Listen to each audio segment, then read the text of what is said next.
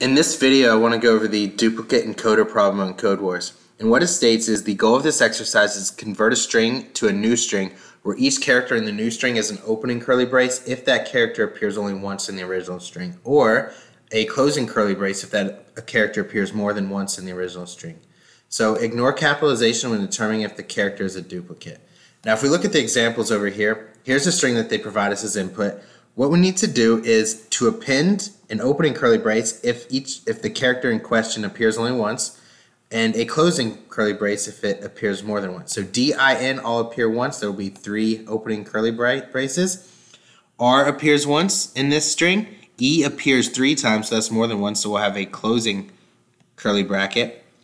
Uh, C appears once, so opening. E appears uh, three times, and so on and so forth. You understand what I'm getting at.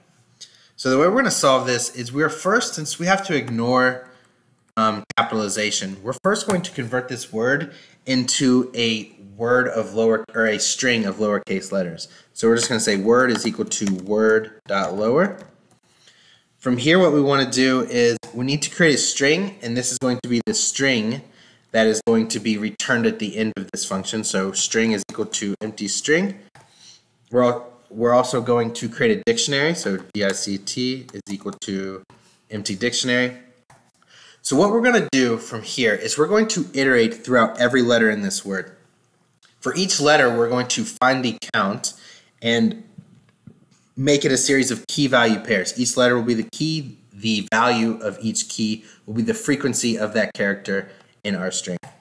And the way we can do this is we're going to iterate throughout the word. So for i in word, what we're going to do is we're going to set the dictionary. So dict of i is equal to dict dot get i comma 0 plus 1. And the way this dict or get method works for dictionaries is we're setting this. So say i is for the very first iteration d.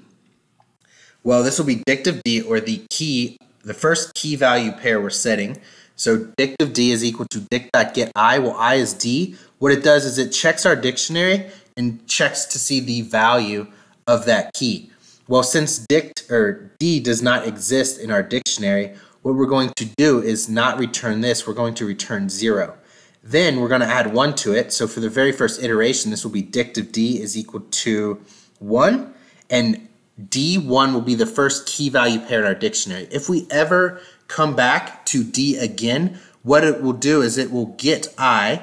I will just be the value of D, which will be 1, and then add 1 to it, and then it will look like dict of D 2. So that, that's what we're doing. We're just getting the frequency of every letter in our string and then storing it in a dictionary.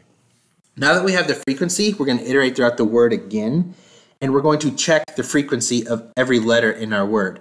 If it is um, greater than 1, we're going to append a closing parenthesis. However, on the other hand, if it's 1 or less, or just 1, we're going to um, append a opening curly parenthesis. So, for i in word, sorry I messed that one up, for i in word, what we're going to do is we're going to say if dict of i, and all this is doing is this getting the value of our current letter in our word, the value will be the frequency of each letter.